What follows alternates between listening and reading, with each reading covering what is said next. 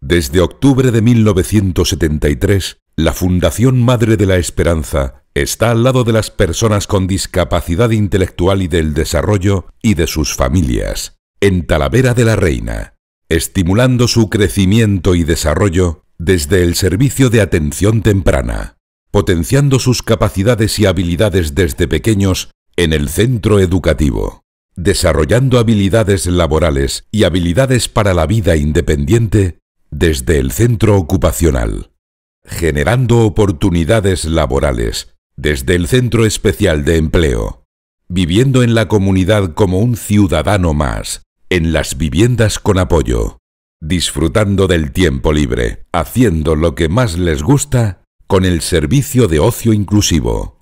Ahora damos un paso más.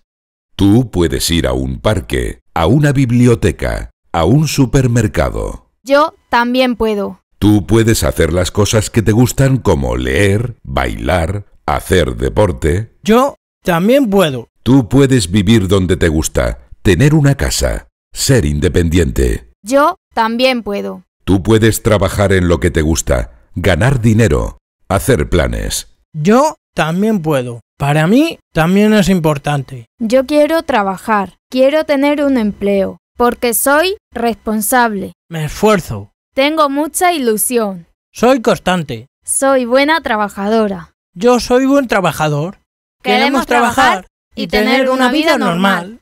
La Fundación da un paso más en el empleo, poniendo en marcha un servicio de capacitación laboral, porque el empleo es un derecho de todas las personas, independientemente de que tengan o no discapacidad. Todos tenemos derecho a un proyecto de vida, a desarrollar una ocupación que nos haga felices y que nos permita ser independientes el servicio de capacitación da los apoyos necesarios a cada persona con discapacidad intelectual en la etapa adulta de su vida para posibilitar una vida independiente, así como el acceso y mantenimiento de un empleo normalizado.